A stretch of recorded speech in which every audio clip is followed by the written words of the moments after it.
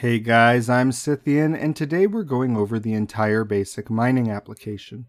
This will cover both fast tracking the waitlist to join the blockchain, as well as staking to increase your credit score. Once we've successfully staked, we will update our device and add the wallet to it. We're going to break this video up into steps with timestamps down below, so if you've already started and you're stuck at a specific part, you can just skip back to that section. Step 1. Account Registration. So regardless if you made an account on the Genesis staking platform, you will need to make a new account on the basic mining platform. You can use the same email as it's a completely separate system. Complete the image and verification code and create a password. In the address tab, you're going to enter an ERC20 hot wallet address that you will be staking from. An ERC20 hot wallet is a wallet viewable by the Ethereum blockchain such as MetaMask. Do not enter an ERC20 address from an exchange wallet like Gate.io or MEXC. If you can't search it on Etherscan, then it's not a hot wallet.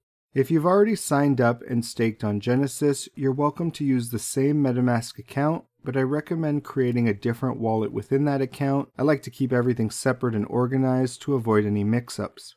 Next, we will enter our login code, which you can find on the Deeper Device login page, 34.34.34.34. And for the last box, you will enter the serial number of your device located in the System tab. Once we have all this info, we can go ahead and click Submit. Step 2. Deeper Wallet Creation. So after we've created the account and we log in, the first thing it's going to ask us to do is create a Deeper Chain wallet. Make sure you download and print the private key, and most importantly, write down your seed phrase. Do not store these on a phone or computer. For security, it's always best to write it down and put it in a safe. It is one device per wallet, so you cannot use the same deeper chain wallet on multiple devices. If you do have multiple devices, check out my Polkadot wallet video for information on how to add all your wallets to one Polkadot wallet for viewing and moving tokens around on the deeper chain. With our wallet created, we will click the Choose a Plan button to continue. On a side note, Never give out your seed phrase to anyone, and please be careful of scammers pretending to be admins in our Telegram and Discord channels. They will try to get you to enter your phrase in their website or document. Admins will never message you first, absolutely never. So if anyone messages you first, it's very likely a scam. On to step 3 staking to join the blockchain slash fast track your credit score. On this next screen, we're presented with a slider bar to choose what tier we would like to stake for.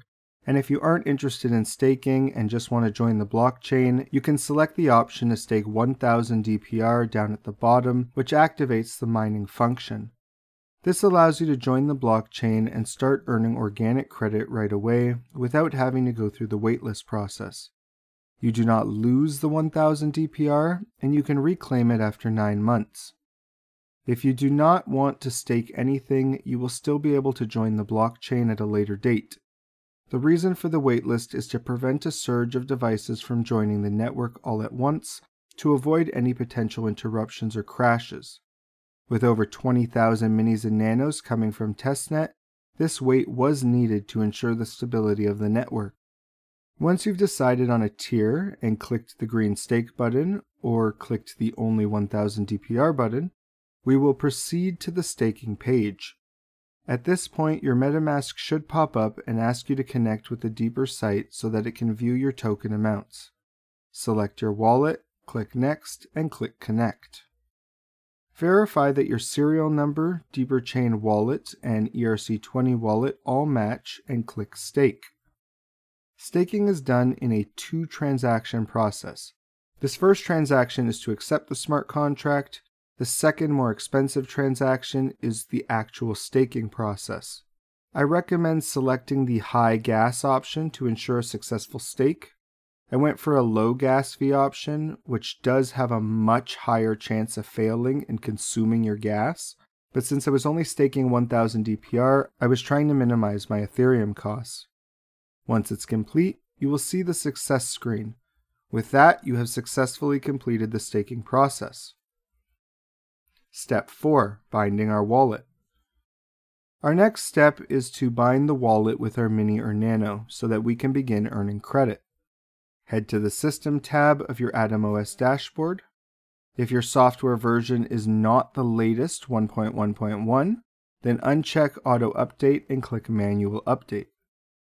This process usually lasts 3 to 5 minutes, but can take up to 20. If it still hasn't finished by the 30 minute mark, you are safe to reboot the device. Do not reboot the device prior to giving it at least 30 minutes to finish. Once it's done loading, we can relog and turn auto update back on. Head to the wallet section of the DPR tab and connect your wallet using the seed phrase you just wrote down during the application. Once you've connected your wallet, you can verify by going to the Wallet Balance tab, which will show around 2 DPR and your appropriate credit score. In our case, it's zero, as I just staked the minimum 1000 to join the blockchain. I can always go back and stake to fast track my credit score once I have the tokens to do so. If you're still looking to get a device, the only place I've seen that's selling them recently is fastminers.io. There is a link in the description down below, as well as a coupon code for $25 off. Hopefully this video helped you guys out. If you need any additional help, feel free to reach out in the Deeper Discord or Telegram. Links in the description down below. If you enjoyed the video, please like, comment, and subscribe. Until next time, keep your data safe, and I'll see you in the next video.